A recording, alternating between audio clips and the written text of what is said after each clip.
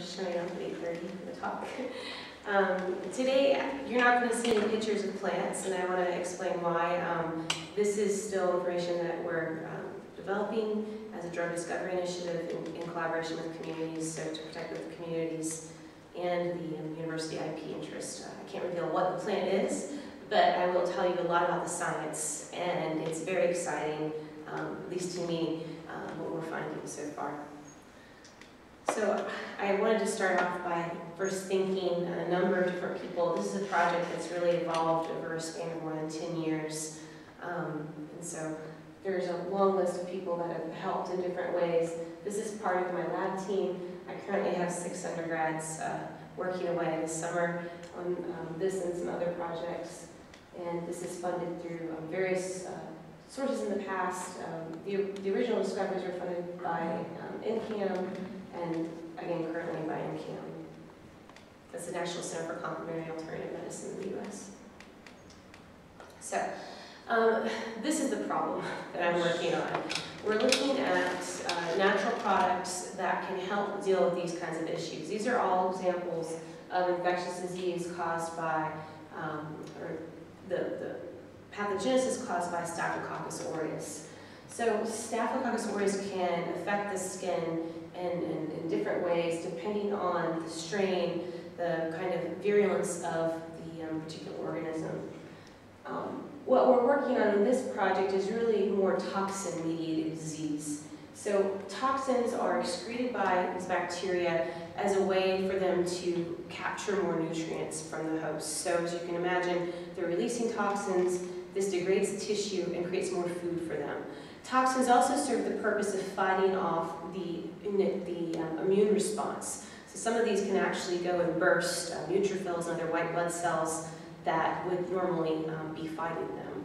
So this is what we're working against.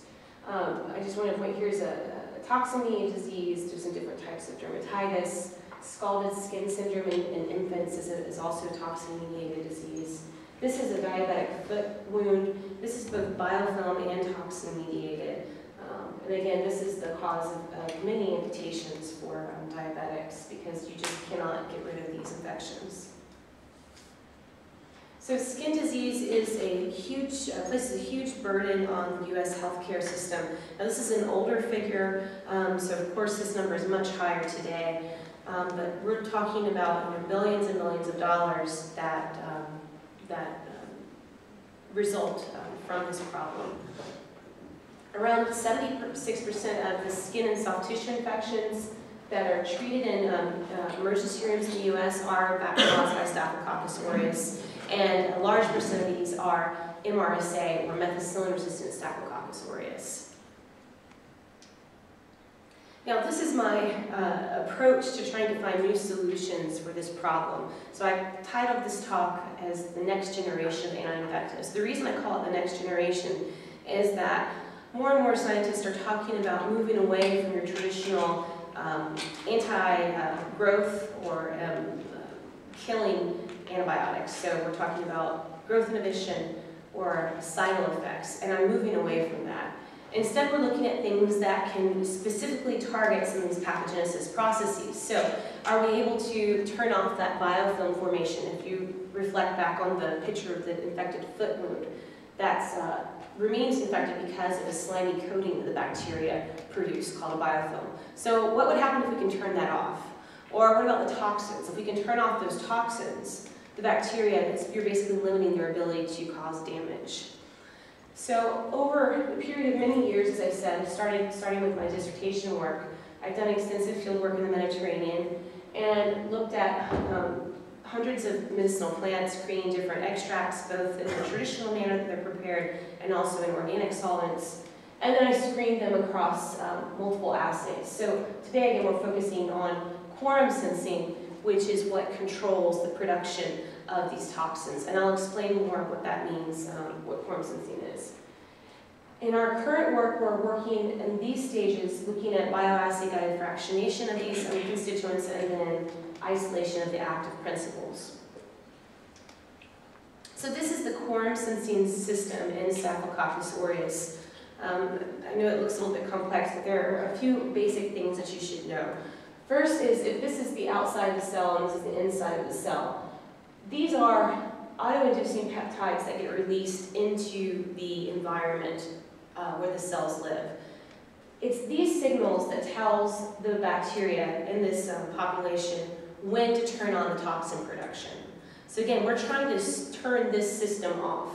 How can we switch off their ability to, to, to, to produce these damaging toxins? Quorum sensing occurs when you reach a certain quota of these peptides in the environment. Now, if you notice in the first page, I'm collaborating with the University of Iowa with um, Dr. Alex Horswell, and his specialty is actually in um, uh, staphylococcal quorum sensing, and he is able in his lab to create different um, luminescent fluorescent tags for these different stages of the process. So in addition to finding out which of these compounds are turning off the system in general, we're doing mechanistic studies to see exactly where in this um, system it's working. Now, basically the way that this works is you have promoters down here, RNA3, which the downstream products are some of your toxins like delta toxin, alpha toxin, we can screen for those. And basically, again, the system promotes production of the AIPs, which then get recognized when they reach a certain threshold or a quorum. Now, the original discovery was based on delta toxin production um, and the ability of this uh, large uh, uh, panel of extracts to diminish the ability to produce delta toxin. Now, luckily for me, I found uh, a high throughput um, HPLC assay that you could actually inject the supernate of the bacteria straight onto the column, which is very handy when you're doing um, fast screening. And basically, it comes off in two peaks. So you have uh, deformulated and formulated delta toxin. So in this way, I was able to identify some lead candidates um, that we had that were actually impacting this quorum sensing system. Also importantly, I looked for those that were not inhibiting growth. So I'm not interested in extracts that inhibit bacterial growth. Instead, I'm focusing on those that specifically tweak these um, small systems. And here you can see this dose response that indeed, as you increase the concentration, this is a crude extract, by the way, of the plant, that you were able to um, decrease the production of um, these two peaks of delta toxin. Now, since that original study, this was an ethanolic extract of the plant, we um, collaborated again with Iowa, and they ran some additional studies on this specific system.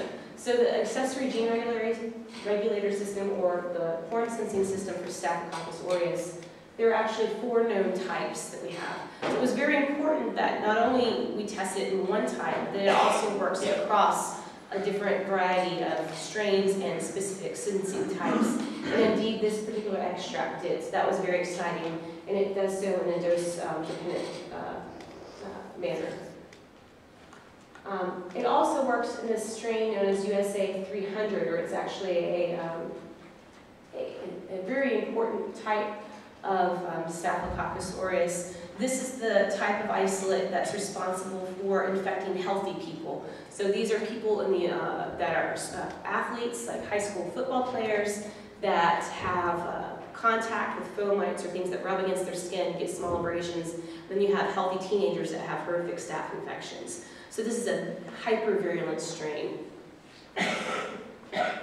Now for the phytochemical approach, we started off again uh, using ethanol as our, as our original extractant and we switched to methanol. Um, there was no change in activity of the crude methanol. And we just did simple partitioning experiments. Again, also always going back and screening with bioassays.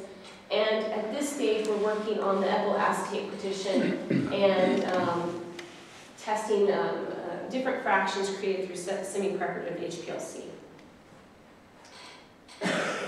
this is what the LC looks like for the semi-prep. So there are a lot of compounds in there, and we're basically taking off um, uh, fractions every minute. So even in every minute fraction, there are, there are several compounds. So again, it's a step-by-step -step process of, of teasing apart things as we go.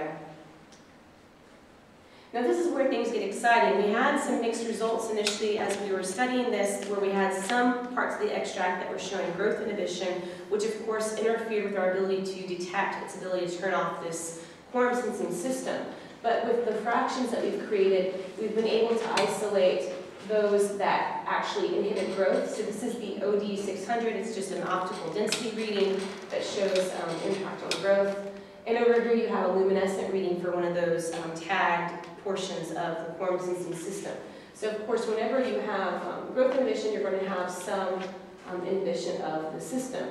What I'm really excited about are these, this particular cluster of fractions. As you can see, they're not inhibiting growth. They're, most of them are within one to two standard deviations of the control. And however, they are specifically targeting the quorum sensing system. So this is where we're at right now. We're running analytical studies on these individual fractions and retesting them in our, in our um, uh, models. And this is where um, these come from. Of course, there's uh, many other wavelengths you could look at as well. So the summary of activity that we have so far is that we've got uh, the crude extract worked. It also has been non-toxic to mammalian cells. It interrupts quorum sensing in um, all known four types of the accessory gene regulator system. We've done this with different tiers of assays, so not only looking at downstream products, but also specifically looking at different um, uh, uh, promoters within the system. It also uh, blocks, we know, on toxin production, several these. And most importantly, we've been able to separate those compounds that are interfering with our data that actually inhibit growth from those that are specifically targeting the system. So our next step will be, again, running more assays on these, trying to isolate and identify those that are specifically um, targeting the system, doing more mechanistic studies um, to see where in the system they're working, and then moving towards animal models where we would basically create skin infections and then treat them with these compounds. So the end of my, um, my talks lately, I've really been trying to put out this message to those of us in natural products research that we have to start thinking more outside of the box. I think the literature is still inundated with a lot of papers just reporting MICs and MBCs.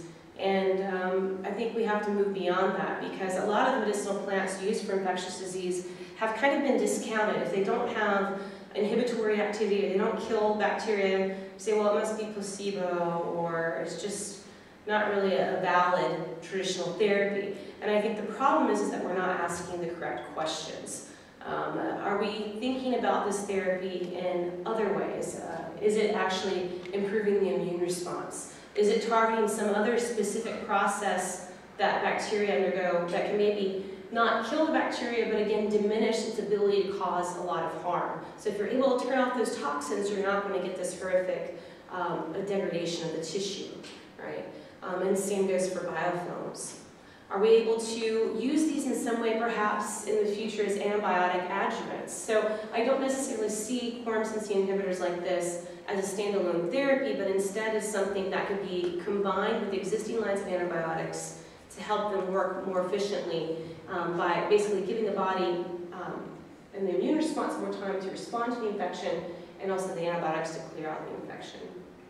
Um, so that's all I have for now. I know there may be some questions. I don't know if that makes sense. Thank you. Yeah. I was wondering, I can see mechanistically that it's interesting when it's a core inhibitor that doesn't cut down the uh, growth of bacteria, but as far as the medicinal value goes, having both would seem to be an advantage. Well, it depends on which way you think about it. If you're in, there's a lot of debate right now on whether anti-pathogenesis drugs would be subject to the same kind of resistance pressures that things are, right? So the idea is that maybe these work better by avoiding placing that same kind of strong selective pressure. But on the other hand, it also argues for the fact that maybe whole natural product extracts that have a number of different constituents, some of these, as you saw, inhibit growth, others inhibit quorum sensing when they're all mixed together. Maybe that's why this plant works better. So there's a lot of debate in this arena. So that could be tested? Yes.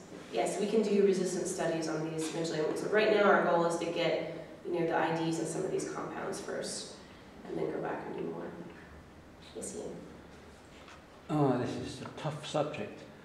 Firstly, I'm still struggling to understand quite why the most virulent strains don't wipe out whole populations, but clearly there's some limit.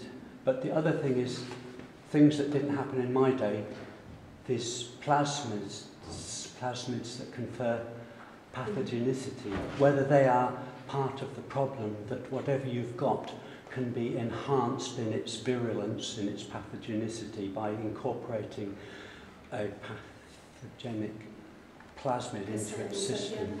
So, yeah, this is one of the reasons why um, you should always finish antibiotic therapy. so you wipe out any of the susceptible um, parts of uh, in, the, in the population. But yes, this microbial pathogenesis contributes to a lot of the resistance problems. So, for example, biofilms. Mm. Biofilms cause something known as intrinsic resistance. So it's not uh, due to any genetic cassette in the bacteria, it's actually a physical barrier that they put up. It's basically like a slime wall Yeah. they coat themselves in, and you can hit it with huge doses of antibiotics and they just don't penetrate and you can't clear it. I've actually had a recurrent case of uh, rhinosinusitis, which is biofilm mediated, ironically, and I've had a really hard time getting rid of it. Um, and that's one of the reasons why people do suffer from chronic um, infections like that. It's because you just can't clear it because of this protective layer. Um, But that mucus layer is your own mechanism for defending against infection there, there is within a your mucus that you produce, but there's also a, a polysaccharide matrix that the bacteria produce Okay. that prevent uh, your immune response from, from arriving at the infection site. Yeah. So I think there's a lot of potential in natural products research, as we heard yesterday in the, um, the, the talk on um, drug discovery. Um, was it Sue Min, is that her name?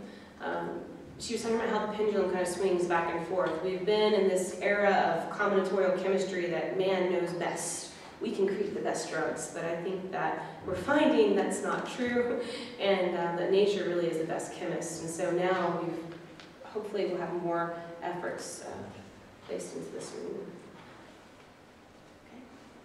Okay, thank